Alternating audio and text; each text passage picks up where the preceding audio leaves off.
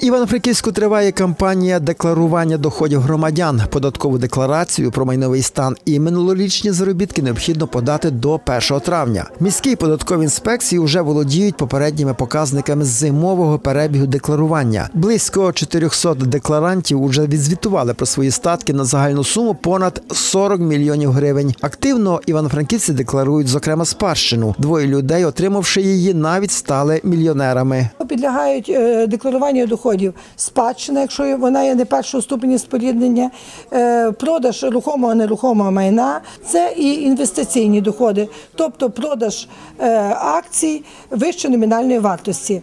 Це є і здача майна в оренду, тобто ті громадяни, які здають своє майно в оренду і отримують від цього доходи, зобов'язані прийти податкову і подати декларацію. Загалом упродовж наступних півтора місяця податківці очікують ще на 700 місцевих декларантів і прогнозують, додатково до міського бюджету надійде понад 1 мільйон гривень ПДФО. Акторка обласного муздрамтеатру Галина Баранкевич теж відвідала центр обслуговування платників податків. Вирішила офіційно відзвітувати в інспекції про свої минулорічні доходи, отримані від концертної та іншої творчої діяльності. Сьогодні я декларувала вперше свій доход. Звичайно, це не є е, величезні гроші, але це мій маленький внесок е, в розвиток нашої країни. І я вважаю, що е, це обов'язок кожного громадянина. Врешті-решт, це вияв певної чесності, гідності і патріотизму до своєї держави. Це обов'язок, особливо в нинішні дні, коли ми починаємо розбудовувати нову європейську країну. Задля підвищення динаміки деклараційної кампанії центр обслуговування платників податків працює в режимі подовженого робочого графіку. Тут надаються фахові консультації щодо процедур декларування. Звітувати про власні доходи можна і в електронній формі, скориставшись спеціальним веб-порталом декларування онлайн. Михайло Березень, Олександр Литвиненко. Новини на вежі.